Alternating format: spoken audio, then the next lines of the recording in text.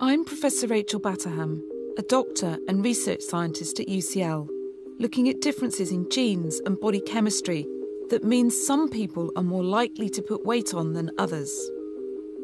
What we're learning in the lab should be shaping the future of obesity care in the UK. But there's a reluctance to accept what this could mean in terms of treatment. There's a battle brewing within our NHS about the best way to deal with our obesity crisis. One, two, three. Between those who view obesity as a lifestyle issue Light on. and those who see it as a disease that needs specialist treatment and even weight loss surgery. Knife, please. I know most people will disagree with this, but I'm very much in the camp that see obesity as a disease, and I've long argued that we need to increase the number of weight loss surgeries funded by the NHS. So there we can see the new egg-sized stomach.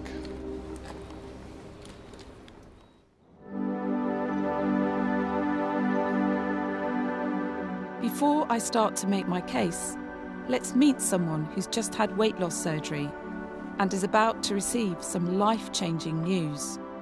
Robert had weight loss surgery yesterday, and we're running some tests on him. It's not to see if he's lost any weight, it's too soon for that. But it's not too early to see if it's had an impact on his diabetes.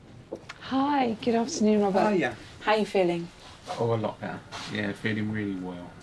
Yeah, so I didn't feel. I think I'd feel this well. If I'll be honest with you. So you've had the diabetes for eight years, is that right? Yeah, yeah. And what's it been like? How's it affected you having it? When you find first find out you have it, it affects you really bad. You hear stories of uh, about people losing limbs, going blind, and then uh, I've had family kind of pass away with kind of diabetes. Gosh. So it's yeah, it's been very frightening. Yeah. And what's his sugars been like since the operation?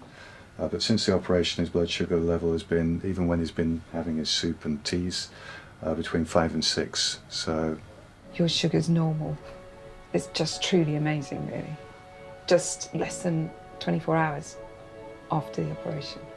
you're not going to need any more tablets when you go home today. Diabetes has gone into, I hope, long-term remission. This is just so much, so life changing. Yeah. It's absolutely overwhelmed. Yeah. Yeah. How lucky am I?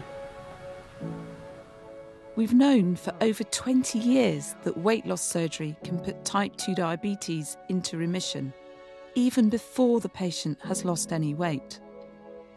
I can't understand why we're not doing more of these operations. It can transform someone's life and help cut the mammoth bill of this disease to the NHS. No medication. 18 hours after the operation, off I go.